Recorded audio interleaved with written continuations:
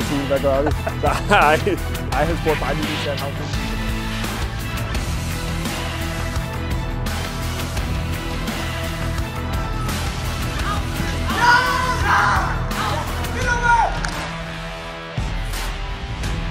Oliver Jeppe, 18 år, defensiv midtbane og anfører på Brøndby 19. Okay, jeg prøver lige en gang til.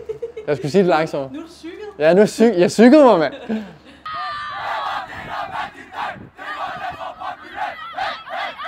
Fik du 19 debut i dag? Det gjorde jeg. Hvordan var det?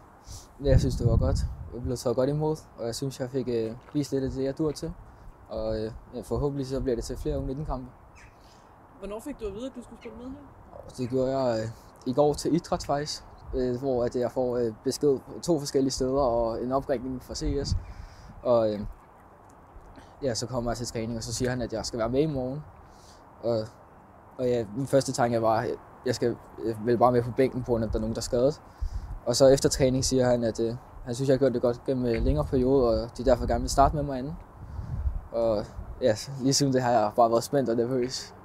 Og så kommer du ind, og så går der ikke ret lang tid, så har du lavet en assist til jeres første mål. Ja, det, ja, det var fantastisk. Lige ind og markere fra starten af. Hvad synes du om din egen præstation i kampen i dag? Jamen, jeg, sy- jeg synes, den er fin.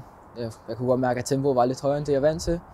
Jeg synes, jeg kommer ind, jeg får gået på kroppen, og øh, så synes jeg, jeg gør det godt med bolden.